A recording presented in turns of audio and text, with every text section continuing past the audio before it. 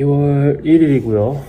자, 오늘 이제 필리핀 출국을 하는데 출국 전에 잠깐 이렇게 노트를 찍는데요.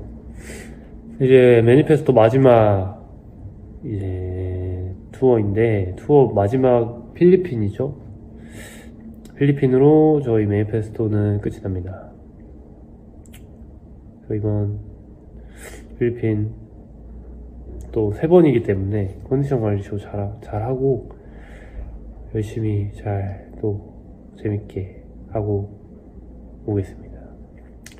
그래서 이제 곧 공항으로 가는데 공항 이제 비행기 또 타고 내일 런스루 하고 이제 그 뒤로 3일간 쭉 공연 사실 3회 하는 게 처음이라 조금 긴장은 긴장은 잘 안 되는데 체력적으로 어떻게 될지가 좀 관건인 것 같아요. 그래도 잘 하겠죠. 태국에서 이제 지금 온 지 한 며칠 이틀 정도밖에 안 되는데 태국도 반응이 엄청 좋기 때문에 필리핀도 반응이 되게 좋지 않을까 생각합니다.